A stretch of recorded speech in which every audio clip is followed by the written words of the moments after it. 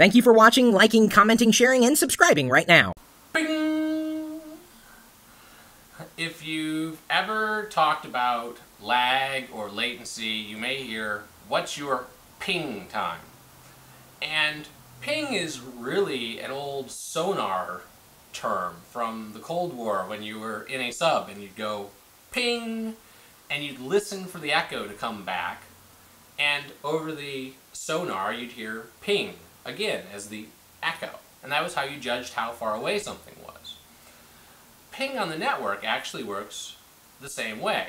You send a packet out to a server. It says, hey, I got your packet, here's a response of the same packet, and you time how long that took, and that's your ping time. Ping can be used for a lot of different things in diagnosing a network.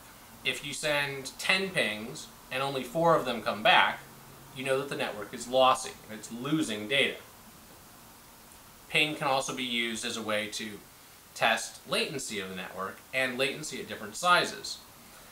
If you have a network that has a per packet time of 10 milliseconds and a packet size of 8 bytes, you can do an 8 byte ping in 10 milliseconds. And you can do an 80 byte packet in 80 milliseconds. But if the throughput on that network is such that you have 100 megabits, sending a 100 megabyte ping will take 8 seconds.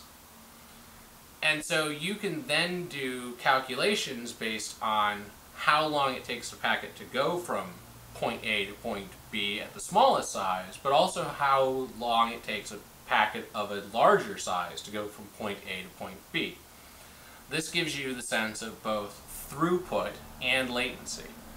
So ping is not just how latent is your network, but it's also a function of how fast. You can have a very fast network that has very high latency, or you can have a very low latency network that isn't very fast. And ping will let you determine each of those metrics.